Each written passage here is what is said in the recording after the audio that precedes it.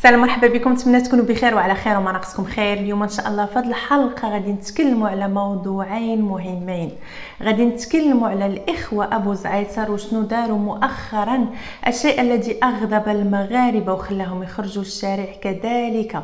غادي نتكلموا على العلاقة اللي كتجمع أحد الإخوة أبو زعيتر بأمير المؤمنين الملك محمد السادس واش بسبب هذه العلاقة خلات هذا الحدث يوقع مؤخرا. في الجزء التالي من الحلقة غادي نتكلموا على التصريح الأخير والمستفز للوزير وزير العدل عبد اللطيف وهبي. هذا التصريح الذي أغضب المغاربة والذي يخص كل فئات المجتمع.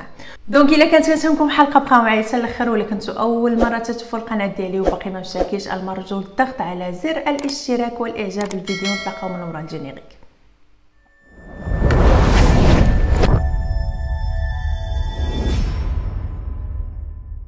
نبداو الحلقة بالتصريح الأخير والمستفز لوزير العدل الحالي السيد عبد اللطيف وهبي حيث صرح وأكد وتوعد الجمعيات اللي كترفع دعوى ضد المنتخبين السياسيين ولا الشخصيات العامة المغربية واللي كيتحكموا في المال العام اللي كيتحكموا بمال المغاربة.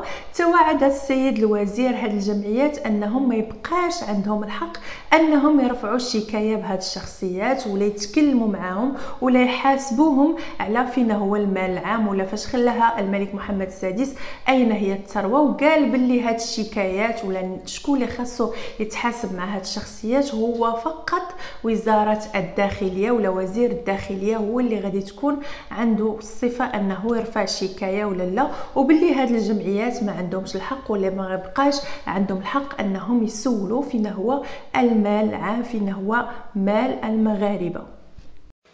طرح المشكل ديال رؤساء الجماعات المحلية وكذا. غير اللي جا كيدير واحد الجمعية ديال الملعب كاين كاع اللي ما عنده جمعيه كيتكلم على أن عنده جمعية هو كاع ما عنده جمعيه وتيقول جمعية محاربه ولا الدفاع عن المال العام هو كاع ما عنده جمعيه ما عمرو دار جمعية ما عنده لا قانون لا والو. وكيتكلم سميتو وكيدير شي وتيجي يدير الشكايات. اسمح لي اللي مسؤول على مراقبة المال ديالو اللي كيجي من الداخلية هو وزير الداخلية وبناء عليه. حنا ما يمكنليش واحد يقدم شكايه ضد شي واحد إلا إذا كان هذاك المصدر ديال المال من عنده. وهو معطي ريال وكيتكلم وتيقول لك لا أنا كذاك اعطى الضريبه بس اعطى الضريبه تحسب إدارة الضرائب. وبناء علاش قلنا؟ قلنا أنه لا يمكن تقديم شكاية إلا من طرف السيد وزير الداخلية. هو اللي كيعرف حسابه هو اللي كيتبع الأمور. دابا ولينا كنشوفوا بهاد التصريحات اللي بحال هكا باللي الحكومة ولات كتشجع على الريع ولات كتشجع على الفساد ولات كتشجع على تبذير المال العام مال المغاربة. ينبغي يعني الإشارة لواحد النقطه مهمة ومهمة جدا واللي كنتكلم عليها تقريبا في كاع mes vidéos. الملك محمد السادس هو المسؤول الأول والأخير على كل ما يقع داخل المملكة المغربية وذلك حسب الدستور اللي كتمشى به البلاد ديال 2011 donc لا الحكومة اللي فاتت ولا هاد الحكومة الحالية ولا الحكومة اللي جاية بالوزراء ديالها برئيس الحكومة هما فقط أشخاص كيمشيو الاوامر ديال الملك محمد السادس واللي كيخدموا على الملك محمد السادس. donc هو تيهرب الأموال العامة وكتحط في الحسابات البنكية سواء في بنما سواء في سويسرا سواء في جزر العذراء وما كذلك كيسرقوا كيديروا الفساد وكياخذوا أموال الشعب المغربي. شكون هو الضحية الأولى والأخيرة هما الشعب المغربي هم أبناء الشعب المغربي هم شباب الشعب المغربي هم الناس اللي ما لاقينش سبيطارات إلى آخره. دوك نرجعوا للتصريح الأخير المستفز ديال وزير العدل ولا ديال هذه الحكومة ديال اخنوش اللي هي ماشي أول قرار ولا اخذ قرار اللي تتاخذوا اللي كيكون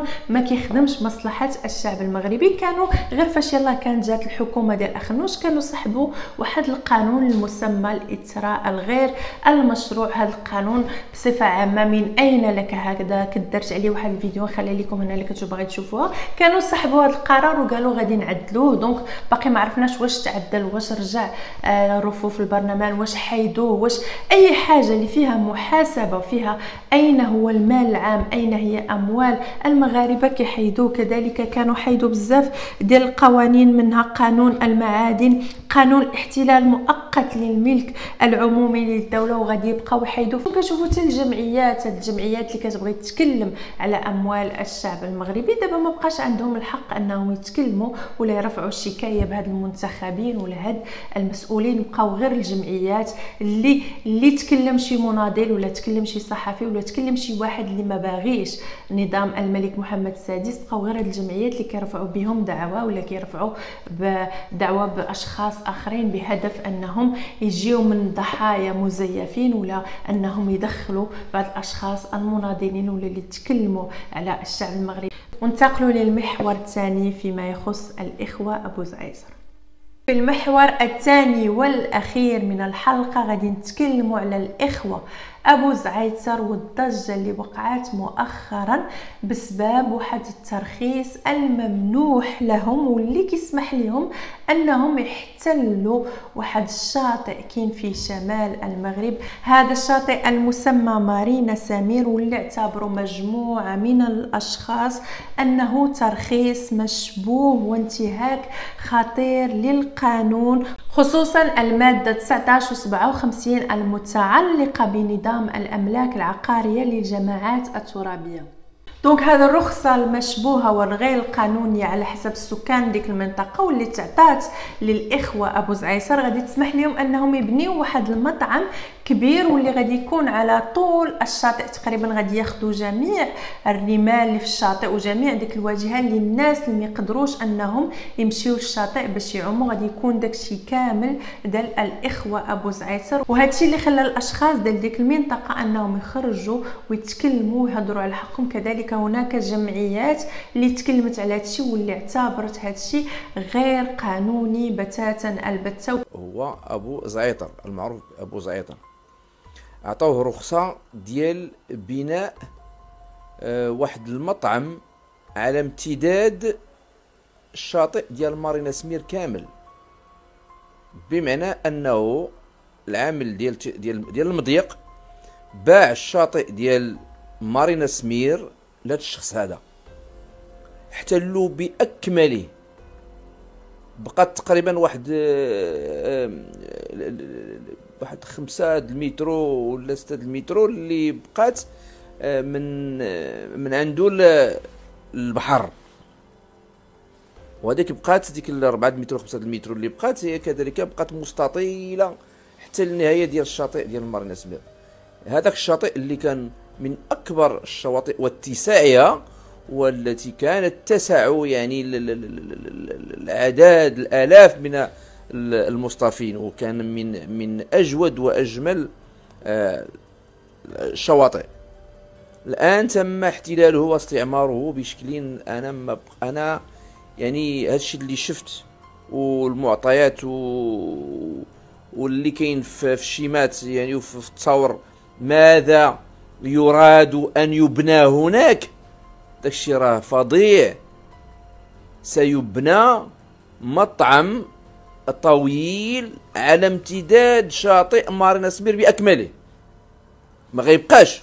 قبل ما نتكلم على أبو زعيسر وشكون هو أبو زعيسر؟ ومنين جا هاد أبو زعيسر؟ وشنو هي نوعية العلاقة اللي كتجمعوا بأمير المؤمنين محمد السادس؟ بغيت نتكلم على واحد النقطه مهمة ومهمة جدا وهي نقطة سوداء داخل المجتمع المغربي واللي كتخلي بلادنا ما تزيدش القدام. يكفي أنك تكون عندك واحد السلطة صغيرة ولا تكون عامل ولا مقدم ولا جنرال ولا كتعرف فقط هاد الأشخاص. هاد الشيء كيخليك على أنك تحقر على خوك المغربي وتاخذ حقه ولا تاخذ ليه النصيب ديالو بزاف ديال الأشياء وهذا الشيء هو اللي بغاه النظام المغربي واللي داروا النظام العلوي المغربي. الناس اللي كيعرفوا الحسن الثاني بات محمد السادس parmi les livres préférés ديالو ولا من بين الكتب المفضلة ديال الحسن الثاني كان الكتاب ديال Le Prince ديال الكاتب ماكيافيلي ولا الكتاب ديال Sun Tzu L'Art de la guerre ومن بين النقط اللي كيتكلموا عليها هاد الكتوبة هي أن كيفاش تتعامل مع العدو. mais النظام العلوي اتخذ من الشعب المغربي عدوا له. كيديروا ديك القضية ديال diviser pour mieux régner donc هما كيتفرقوا المجتمع المغربي وكيشوفوا باللي هاد النقط نقط سوداء داخل المجتمع المغربي وبيديهم أنهم يحيدوهم يخليوش الأشخاص كيتضاربوا مع بعضياتهم ولا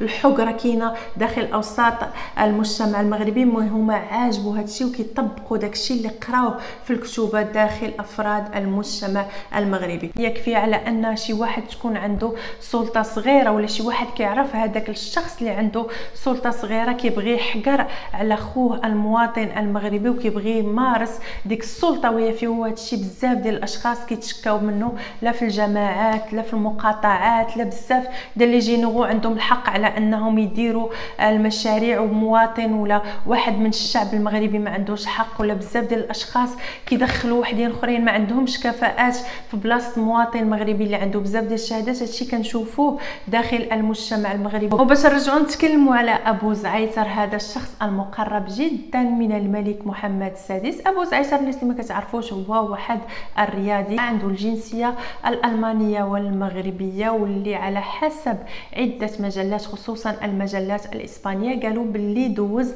أربع سنين ديال السجن داخل ألمانيا وذلك لتورطه بأعمال إجرامية. كنشوفوا مؤخرا باللي دار بزاف ديال المشاريع داخل المغرب في سلاف بزاف ديال المطاعم حلوا في سلا بزاف ديال الأشياء داروا هو والإخوة ديالو. اللي كذلك الإخوة أبو زعتر ولا أحد الإخوة أبو زعتر شفنا بزاف في الصحف ديال المخزن ولا الصحف ديال الدولة البوليسية. كنشوفوا خايد صور مع الملك محمد السادس اللي صور اللي كتعتبر آه، شخصية بزاف من هاد الجرائد نشروها. وكذلك وعلى حسب العديد من الجرائد الدولية وكذلك الجرائد المخزنية ولا ديال الدولة البوليسية واللي نشروا هذا الخبر كيقولوا باللي الملك محمد السادس عطى واحد القصر ولا واحد البلاط بالخدم ديالو بكل شيء ليه عطاه لصديقه المقرب أبو زعيتر كذلك صور آه، آه، أبو زعيتر في العديد من المناسبات الشخصية مع الملك محمد السادس في العطل الرسمية ديالو كذلك في اليخت ديال الملك محمد السادس هذا الشيء كيبرهن على أن هذا الشخص مقرب جدا من الملك محمد السادس. حنا ما بغيناش ندخلوا في الأمور الشخصية كنتكلموا فقط على ما نشر من عند الجرائد ديالهم ولا من عند الصحف المخزنية والصحف العالمية. هادشي فقط كنقولوا لكم هادشي كيبقى شخصي ولكن فقط كنقولوا لكم باللي هذا مقرب من الملك محمد السادس. ويعني هذا الشيء هو اللي خلاه على ربما أنه ياخذ داك الترخيص ولا ياخذ ديك الرخصة على حسب الجمعيات اللي كاينين تماك الرخصة الغير القانونية واللي استغل بها آه، الملك العام ولا استغل بها الشواطئ ولا الشاطئ اللي خاص يكون للمغاربة. وتيقولوا الإخوة أبو زعيتر باللي هذا الترخيص اللي خدا هو ترخيص قانوني على حسب أشنو قالوا. دونك كما شفتوا معايا في هذه الحلقة كيف يتم التلاعب بالمال العام كيف يتم التلاعب بالشعب المغربي كيف يتم التلاعب بأموال الشعب المغربي سواء مع التصريح ولا مع الحكومة ديال أخنوش ولا الحكومة السابقة ولا التصريح خصوصا التصريح ديال وزير العدل اللي حصره واللي قال باللي الجمعيات اللي كتراقب المال العام ماشي من حقها أنها ترفع شكاية ولا دعوة بهاد المنتخبين ولا الشخصيات الحين أن تكون شي دولة ديمقراطية واللي الشعب المغربي يختار شكون اللي يحكمو شكون اللي يحكم عليه ولا ما عجبوش الشعب المغربي ولا عجبوش ديك القرارات السياسية اللي كياخذ هذاك الشخص اللي كيحكم. نجيبو واحد آخر مي حنا المواطنين المغاربة ما عندناش الحق أننا نختاروا محكوم علينا أن يبقى ملكية وتجي ملكية ويجي الإبن ديالو ويجي الإبن ابن ديالو. أشخاص الذين لم نختارهم ابدا ابدا. نتمنى أنكم تخليوا لي التعاليق ديالكم أسفل الفيديو في الخانة المخصصة للتعاليق تقول لي فيما يخص الموضوع الأول الخاص بتصريح المستفز لوزير العدل. كذلك فيما يخص الموضوع الثاني ديال أبو زعيتر والعلاقة اللي كتجمع أبو زعيتر بالملك محمد السادس وهذا الرخصة اللا قانونية اللي تعطات لهم باش أنهم يستغلوا شاطئ جميل كشاطئ مارينا سمير. ونتلاقاو إن شاء الله في الفيديو الجاي ما تنساوش بارطاجيو la vidéo على أبعد نطاق. ونتلاقاو إن شاء الله في الفيديو الجاي بسلام عليكم. bye bye